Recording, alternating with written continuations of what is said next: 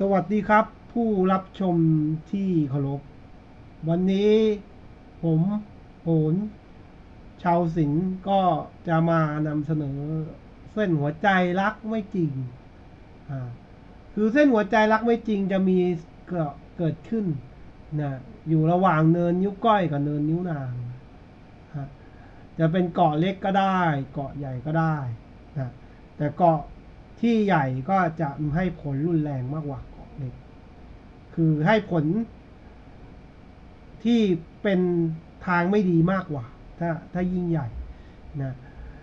ก็ที่เกิดขึ้นกับเส้นหัวใจเนี่ยนะทำเส้นหัวใจเกี่ยวกับความรักเนี่ยทำให้ความรักนี่เสียไปนะ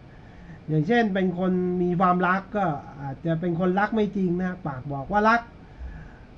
แต่ก็ ใจไม่รักก็ได้แล้วก็ไปบอกว่าคนว่ารักคนอื่นอีกนะอาจจะเจ้าชู้แอบไปคุยกับคนอื่นรักหลังบางทีอาจจะเห็นเเป็นแค่เซ็กฟันแล้วก็ทิ้งนะฮะแล้วก็ไปทำแบบนี้กับคนอื่นเนี่ยหากเส้นหัวใจเป็นเกาะไปตลอดก็ไม่ดีนะแต่ถ้าเป็นเกาะอยู่ก็จะให้ผลอยู่ในระยะช่วงหนึ่งนะถ้าไปอยู่ในมือของผู้หญิงผู้ชายก็ ทำให้ไปเจอความรักที่ไม่จริงได้ อาจจะไปเจอคนรักที่เจ้าชู้ก็ได้ ก็ต้องมาดูรูป ก็ต้องมาดูว่าเส้นเป็นยังไงนะฮะก็นำเสนอ